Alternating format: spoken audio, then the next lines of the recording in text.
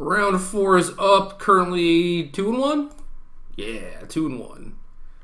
All right, we're leaning on Oath of Nissa a little bit here. Uh, we we have Oath to fix our mana for Gideon. Avacyn is a ways off, um, but kind of just looking for a third land. White source would be nice because then we could Dromoka's command along with Hangerback Walker, but that doesn't look like it's happening. I'm still going to take this forest, but I'm not happy about it. This does open me up to drawing Fortified Village at some point. Oh, look at that. Look at that. All right, so is there any downside to actually playing this Abbey? I don't think so.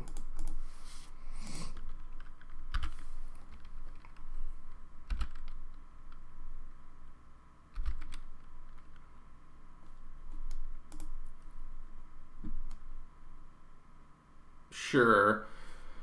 Okay.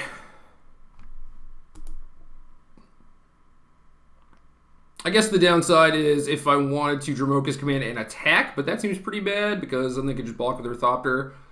Uh, so if I wanted Dromoka's command attack and then play this Oath of Nissa that I drew, but I think I just want to tick up and command that.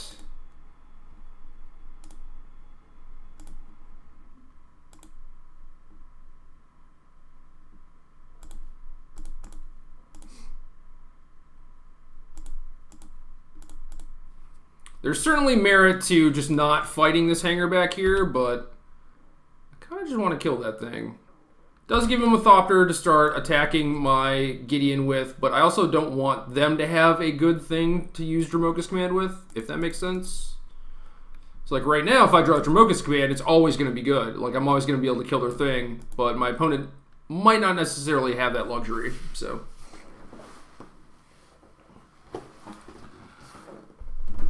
It is kind of crappy that they have a 1-1 Thopter that can, like, plink my Gideon, but I think that's alright. Ah, the Inspector.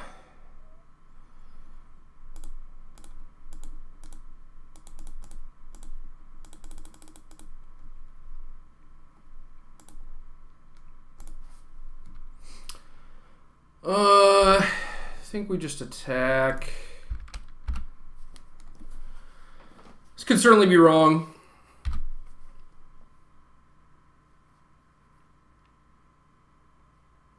Lot of the time this just comes down to protecting your Gideon, and if my opponent has command, like maybe two commands or something, then they get to kill Gideon. Uh, but anything else, if they have like Nissa or Gideon Emblem, then it doesn't really change anything. I guess if I keep Hangerback back back and they only have one command, the best they, they can do is uh, put a counter on Inspector, fight the thing, and like not even be able to attack with Inspector, but this does make it so they have to like use their command to try and get an advantage, which I like. Uh, so I think we're gonna tick up Gideon and attack. Uh, then probably just chump with a plant.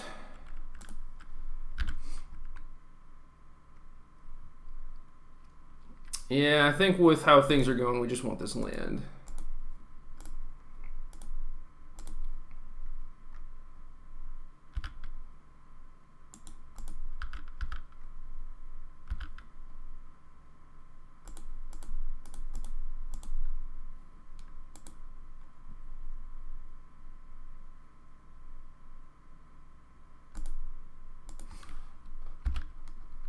Again, kind of risky. They have a way to remove my plants, then they can kill my Gideon.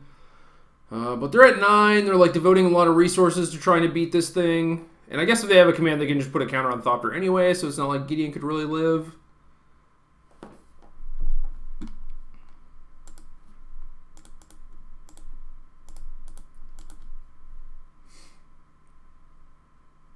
It is certainly possible that I am not as great at, as at protecting my Gideons as I should be. Like I made kind of the risky attack there earlier. I just like played Gideon and made an emblem where I think like I probably reasonably could have just made two twos. And here I could have kept Hangerback Walker back and maybe made a couple extra twos off of it. But I think just like I don't know, forcing them to use commands in a spot that they don't really want to do that, and uh, I don't know. I'm just like making them commit a lot of resources and attack steps to, to, to towards killing this Gideon, but obviously like my board is kind of crumbling, but like they've had to use two attack steps, two turns, two Dromoka's commands. Like it doesn't seem that bad to me.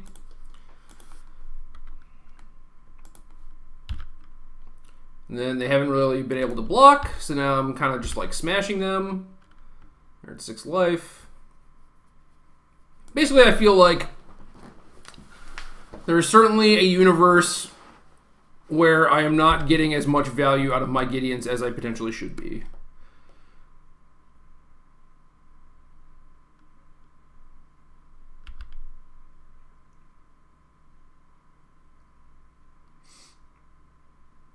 I wonder if they actually have something for this Avacyn or if I'm just going to get to eat a creature.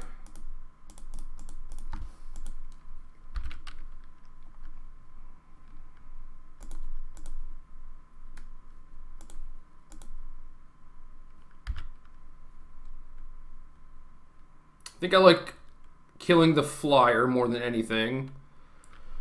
Den Protector is nice. So my opponent fired off secure for two, so I'm pretty sure they just have another one.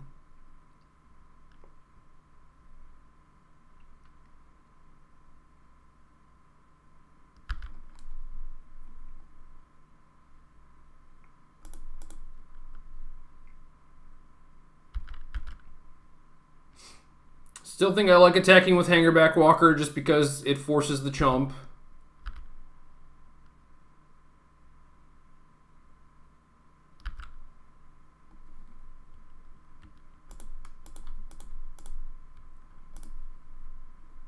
And then this Den Protector can potentially get back Dromoka's Command or Gideon. Uh, Command I could use to like fight a plant on one of their creatures and transform Avacyn in case like the board I guess they have Ormendahl. Did they have that? Did I just miss that? Nope, they just played it. I probably could have expected that. Uh, but either way, I don't think this is a big deal, actually.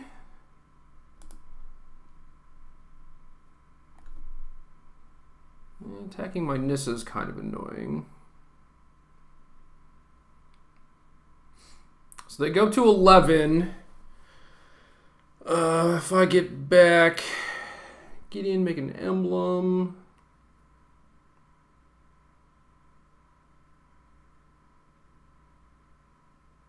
Hmm. Maybe I could have played around that better. Maybe I should have just not played the Morph and kept open second Avacyn, because then my opponent would be DOB.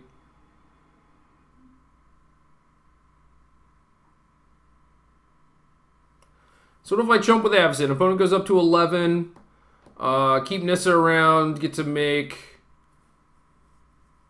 Uh, my plant's two threes if I get back Gideon. Then I have to deal with this Ormendahl still.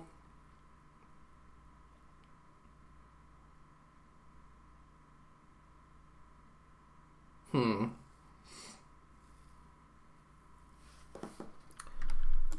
Think I just let this happen.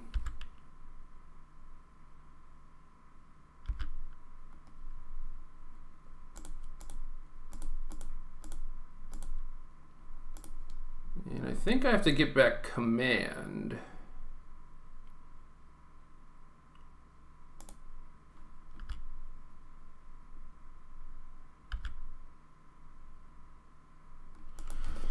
Oh, Things are too interesting. If I drew a land there, I'd have a really sweet turn.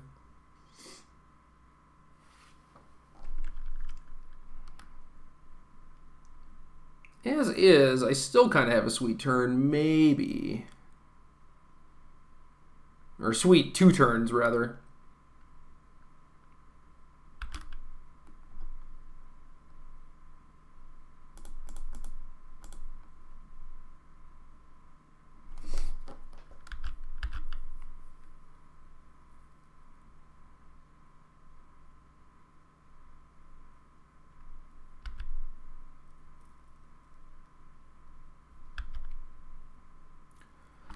So I can either secure make Ormendahl, uh, I can block with Avacyn on Ormendahl and then play other Avacyn, sacrifice the one that I blocked with to the Legend rule. Uh, then next turn I can transform my Avacyn with Dromoka's command, but I think this is the best.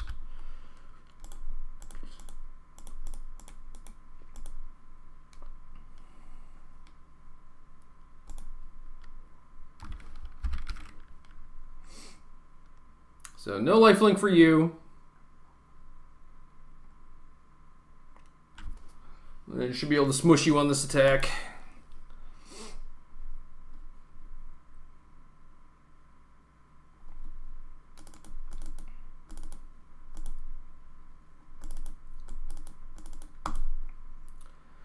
I don't know. I saw. I should learn. I should learn my lesson. You would think, right?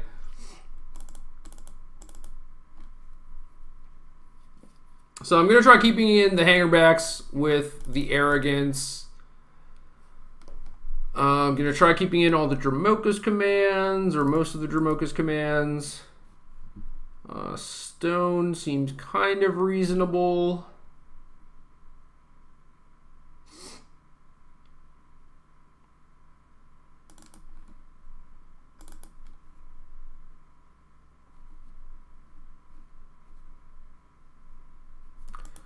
So I have 14 bricks with Oath of Nissa, so I'll shave one of those.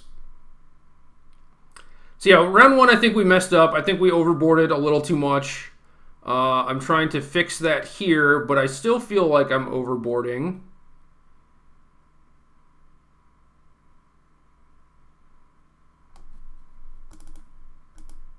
Kind of still want the Gideons. So I d- I don't even necessarily know if Tragic Arrogance is good. Like, my, my opponent set it up so they just hit me for like 10 in one turn, and then uh, I had Arrogance, and it kind of like decimated his board, but he still had a Nissa and a, and a good creature. Um, and I just had like nothing, basically. So I don't even know if this is a good plan. I think it is certainly a better plan if I keep in my Hangerback Walkers. Uh, kind of want Stone just to like clear out some tokens if necessary, or maybe get rid of Ormendahl if that actually happens. But like I have a Clip Wings for that too, which is good against Avacyn, but it was so bad for me both games. So yeah, I'm just I'm not even gonna bring in the Clip Wings because we tried that and it was pretty bad. Uh, I think Secure is pretty bad if both players have Moonlights and Tragic Arrogances, so maybe I'm supposed to just cut all of those, or just keep in one or something? Is it like a Fireball?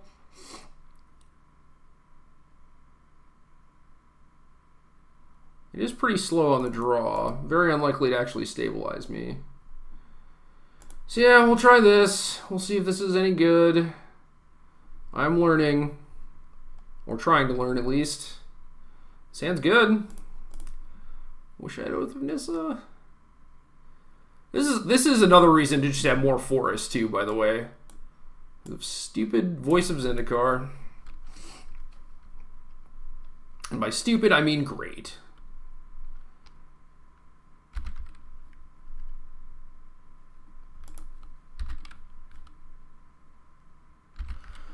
Well, we'll see how good this Hallowed Moonlight is.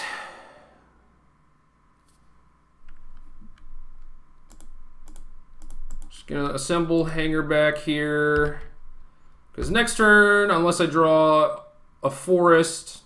Oh, I should I should have an abbey in play instead of the plains. In case I drew fortified village.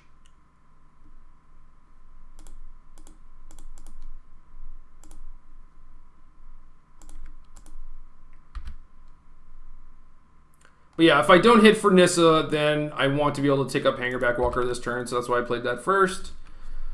And my opponent had Advocate on two, so my Advocate on two would have just not even done anything.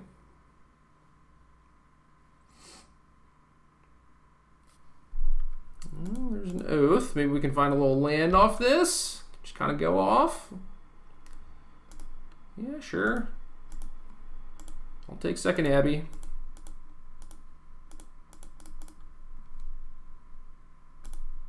Moonlight away my plants.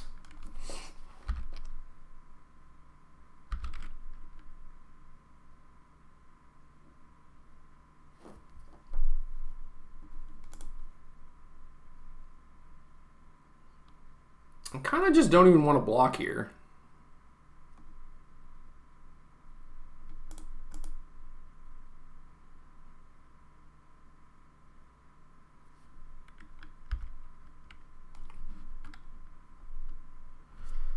Like, it's not like I'm going to start ticking down on Nissa, really. It is simply a plant machine.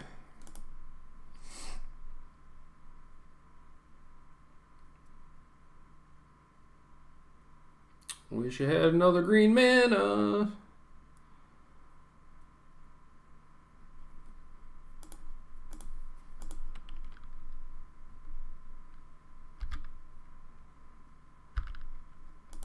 So my plan at some point is to play Den Protector face down, face up, minus on Nissa, next turn play another Nissa, and then hopefully just start clocking my opponent with Den Protectors.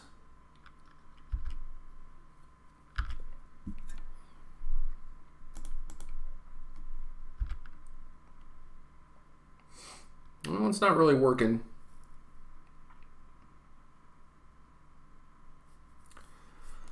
Opponent's going to be able to Ormendahl me next turn if they actually care. We don't really have an answer to that. wonder if they have Avacyn or Secure. If they have Secure, our Moonlight's going to be gas.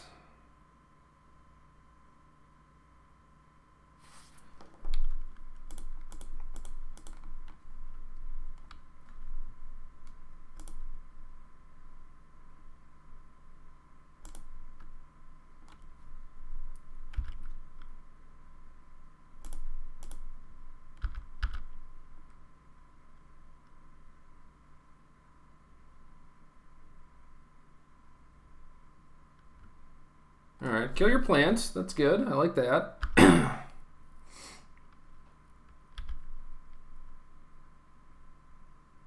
it's got to be secure then. That's really good for me. Get to actually use my mana this turn. Whew. How exciting. Prevent your Ormendahl for a turn. It all works out. Ooh, pacifist. I like that.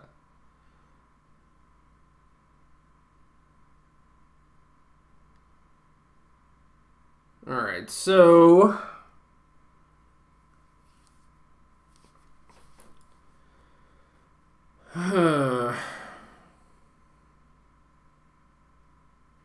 could face up Den Protector and play Nissa and take down on Nissa.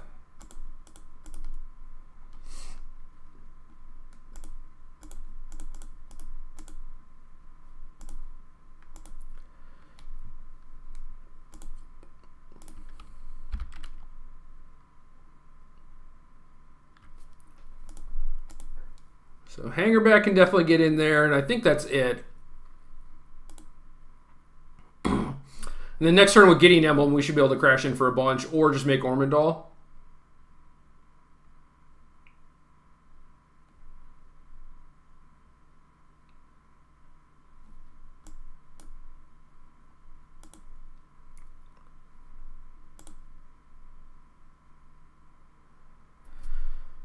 All right, I guess this is the spot where Tragic Arrogance was would kind of wreck us.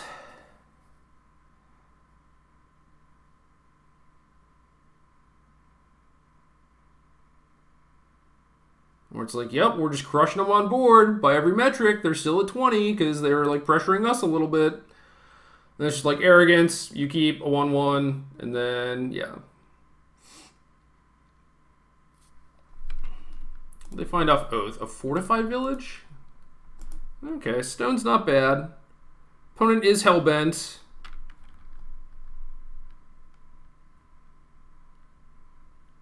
We have our own stone. It's pretty nice. Uh, I guess our opponent's advocate is very large.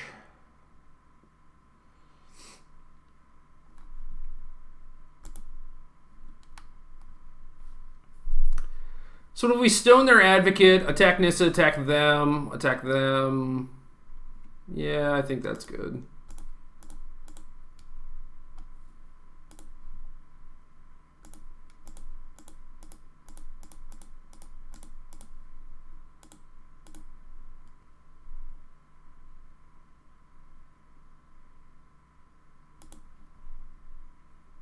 Did 11 damage.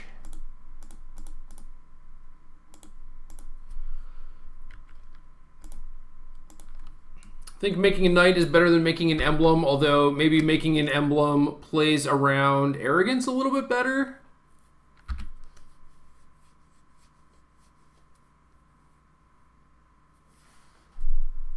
Okay, so kept our deck a little bit leaner this time, and we managed to win. So this this plan definitely seems better than just boarding in a bunch of big clunky stuff. I know that that should probably not surprise anyone, but uh, I don't know. I just I looked at the power level of all these cards that are in the sideboard. I'm just like, oh, I just want to jam a bunch of these, but I don't think that's what this matchup's about.